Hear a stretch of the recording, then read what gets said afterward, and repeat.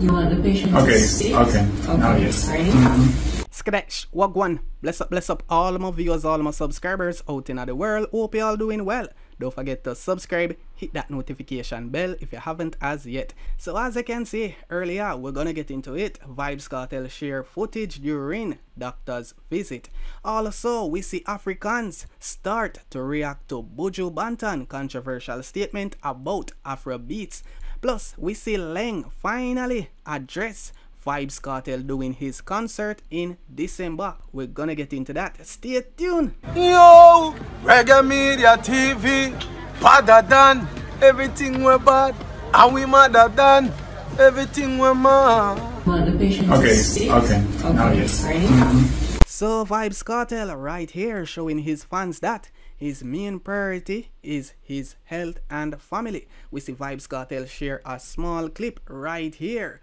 Getting some checkup, you know, at the doctor's office. Yes, people with the caption saying family and fitness. Member, God and time. Don't oh yeah man so Vybz Kartel string up and you know yesterday me see him post a picture and a lot of people are saying that his health already improving based on how he look now comparing to when him just came out of prison. Yes people so you know we see a lot of reaction right here. We see people are post god and time you know people saying get in there bro fam. As i can see a next comment number one priority by the highest authority. Yes people so you know right here we see Vybz Kartel share with him fans because him know say them concern every post Vybz Kartel make somebody tell him say if get him health you know check and take it serious people just uh, advise him all the way so a lot of people are sharing various views about Buju Banton recent statement on Afrobeats music saying that it is every, including Africans right here. What y'all think? Exactly what's going on on the ground in Africa.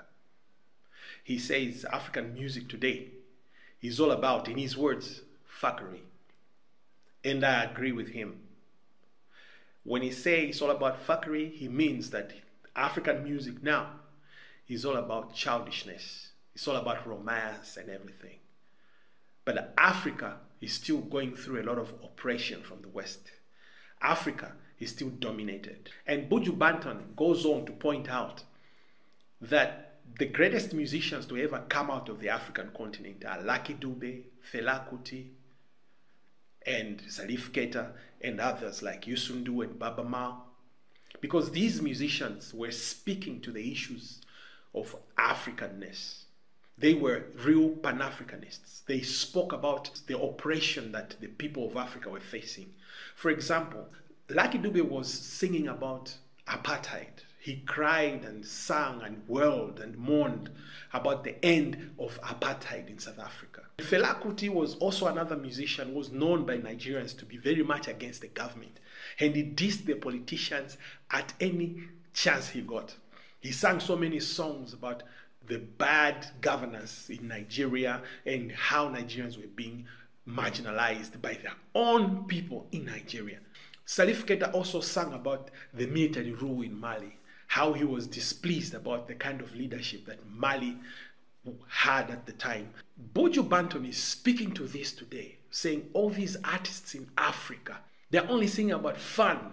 They're only singing about me and my baby girl on Friday night, but they're not talking or speaking to the issues that are affecting the people of Africa, despite them having a platform and they're reaching millions of people worldwide, but they're not using this opportunity. And Buju Banton finishes by saying, You will be popular, you will, you will make all the money, but once you are done, once you are no longer as big as you are, what will people remember you for?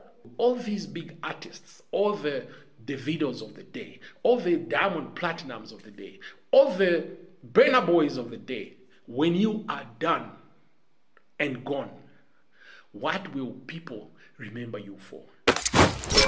So people, right about now we're gonna get into this article.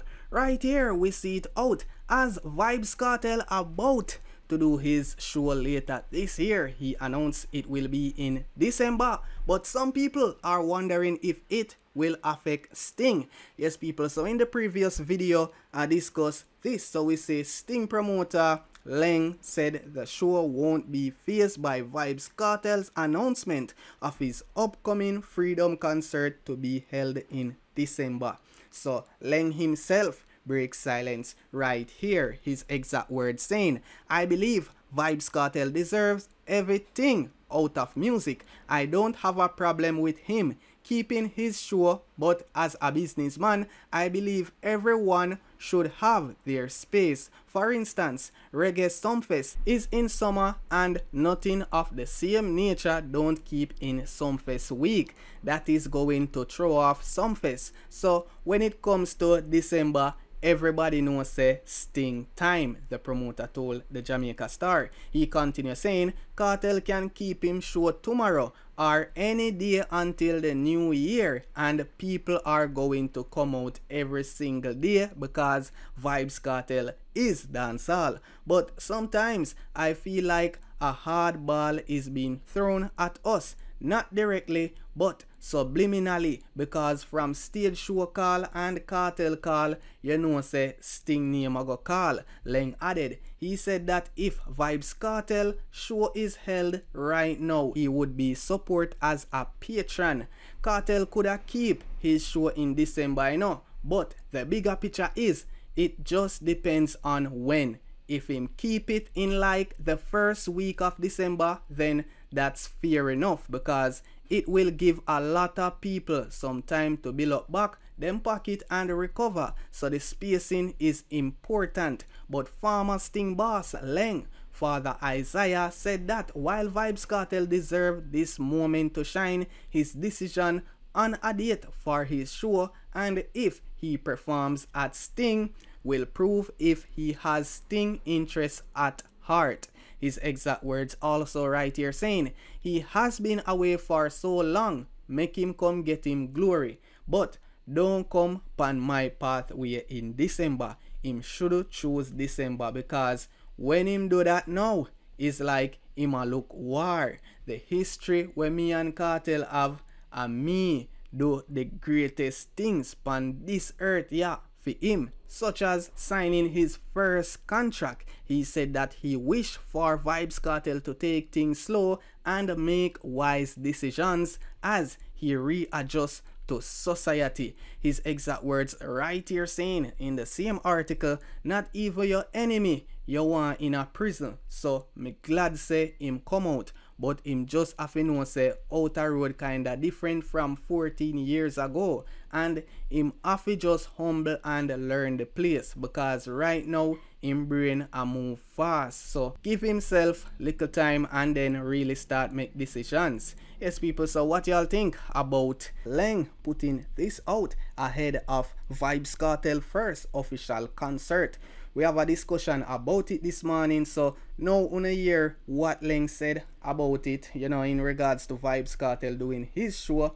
let me know so we're gonna get into this article right here as Paula Llewellyn yet to make a public statement about Kartel's release.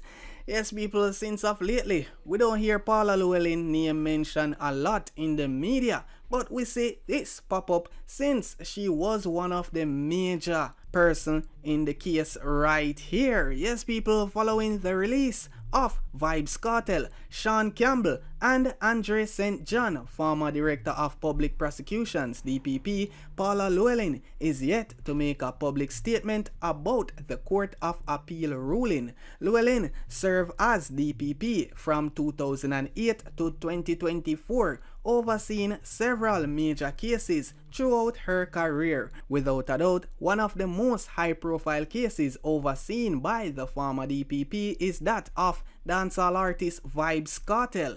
Yes, people, so right here, following the overturn of Kartel's conviction by the Privy Council in March, Llewellyn expressed that her office would be seeking a retrial in the Jamaican Court of Appeal. The former DPP described it as an obligation. Her exact words stated, I believe we would be obliged to given the strength of the case for the prosecution that was put up and given the authority and the case law. Yes, people, so right here we see, you know, one of Vybz Kartel supporter put this out stating prosecutor Paula Llewellyn is somewhere a hide now because Vybz Kartel is finally free from prison, which is good. She try all this time to bring down Vybz Kartel career. Now the man win his case. She's supposed to feel shame and embarrassed. Make it be the last time we see of her. Yes, people. So you know, after the Jamaican Court of Appeal ordered that Vybz Kartel and his co-accused be freed, no official statement has been released by Llewellyn. The former DPP's silence was highlighted on Sunday by popular Vybz Kartel fan page Shamar Mackinnon. Yes, people, so right here, I know a lot of comments, you know, sharing the same sentiment regarding Vybz Kartel fans. But the main thing, you know, Vybz Kartel just happy him getting freedom and he's now out. So just for saying that, Vybz Kartel are God, we see a woman of God actually addressing this lady right here. You know, some people really out here basically uh, idolize certain things. Not only artists, but certain things out there people need to stop idolize. But right here, this lady I get address for saying that Vybz Kartel a God. God that you are, you are true and living Blessed God. greetings, everyone. Minister God lives here. Because the world oh, I say, oh, look where I'm looking, look sick. On. He may look sick. But whenever My I God. hear somebody with the name of God, somebody trying to belittle God, somebody trying to compare to God to a man, somebody trying to mislead the people. By now, everyone must know that Minister Godlight is the overseer for all children that exist, whether great or small. And I will not sit back and watch any man mislead the people. Now, this sister here, I hear she come out talking about Vybz Kartel is not this for dancehall and that for dancehall. And Vybz Kartel is God and Vybz Kartel is this and Kartel is that. Now, sister, the word of God say, anything that you love more than me, God, that is your God. Sister, you can worship a object if you wish, but don't come out and tell the people that a man that is created by God is God.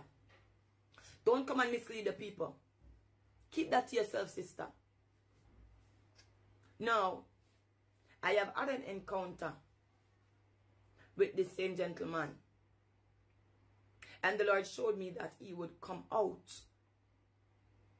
But then I remember the word of God of Elizabeth and Zacharias. You see, because John the Baptist was about to be born, and John the Baptist is a great man that will come and do the work of God. What the Lord did was dumb Zacharias the father until the child was born. Something must not be spoken until it is fulfilled. Now the Lord brought him to me and showed me that he would come out. But I keep a still tongue. Because something must be kept private until it manifests. Now I have few word of encouragement to this gentleman, Vybz Kartel.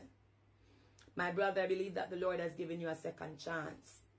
And that second chance is not for you to come and run around with the same crowd. Now, I don't know you in person, but I can tell you this, and I know this for sure. That you have had not just dreams and vision, but encounters where you are coming from. You have had encounters there, and there are things that you spoke to God about. You need to fulfill them. You need to keep the promises. Because I know that my God will not just bring you to me like that. There must be some kind of contact that you had with the Lord why he brought you to me. My brother, do what is needed to be done. I don't have much to say to you because you're a very smart man and you're very wise. The fact that you come out and bring in the name of the Lord, my brother, don't just bring the name of the Lord.